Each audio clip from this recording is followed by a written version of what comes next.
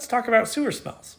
Delicious. You said that every time it rains, your apartment smells like a porta potty, and the landlord says it's the sinks and the showers. So if I have a sink and the pipe just goes straight down into the sewer, then there's nothing to stop sewer gases from coming up that pipe and going into your house. That's going to be stinky all the time. That's why they install what's called a P-trap, which is this curve in the pipe. And as you use the sink, this will fill with water.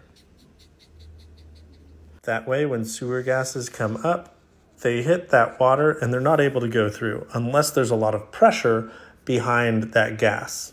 When it rains outside, the water level in the sewer can rise and it can make all of these pipes under pressure. So it's actually pushing sewer gas up into the pipe.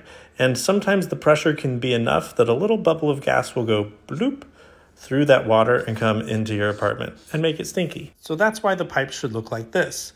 There's a P trap the pipe goes into the wall, this goes down to the sewer, and this is a vent that comes off.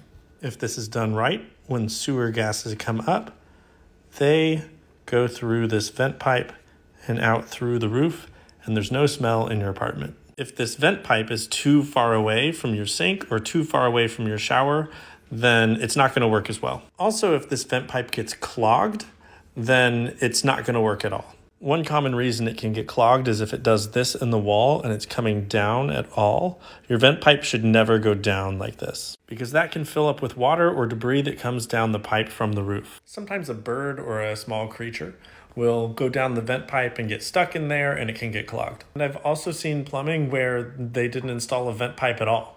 And if that's the case, then it's not a real easy fix because you have to put a vent pipe in that goes through your wall and any walls above that that goes all the way up through to the roof. So, an improperly vented drain pipe is probably why your house is smelly when it rains.